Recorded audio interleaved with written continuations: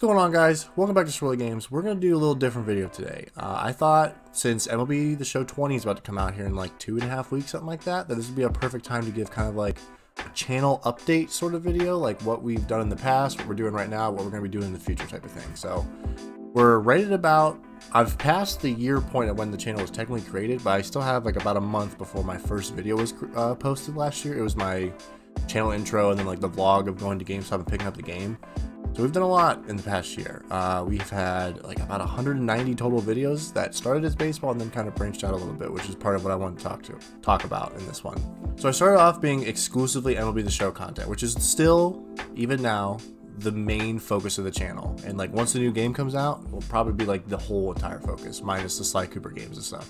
Started off doing a lot of MLB videos, and then like as it got to like October, so it was like the first seven, eight months was just a bunch of MLB The Show 19 videos. And then I got Luigi's Mansion 3 and decided I wanted to try doing like a Let's Play series on the channel. So I did spooky games. Was keeping with the S games sort of thing.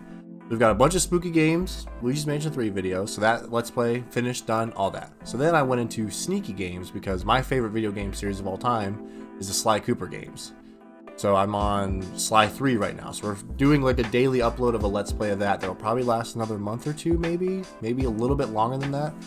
And throughout all of this, I've still had MLB The Show videos sprinkled throughout, but it's kind of like as like the, you know, you know, if you guys are watching this, you kind of know how that goes. Like you get to that point when like, I think I'm good on MLB 19 for the most part, outside of just making some fun videos here and there. But like now that it's almost 20 time, like the baseball is about to really amp up here. So I just want to do a little video, kind of like a thank you to everybody who's watching any of my videos in the past year. Uh, I've got a video coming out either right before this or right after this uh, that might bring like a lot of new people into the channel.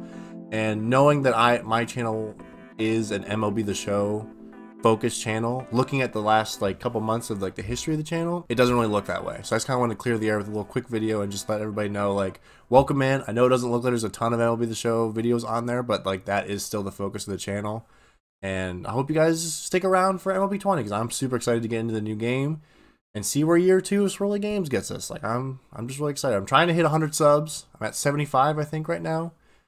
Um, yeah. I just thank you guys for watching. Like I said, it's just a real quick update. Probably nothing crazy going on in this one, but thank you guys so much. I'll see you in the next video.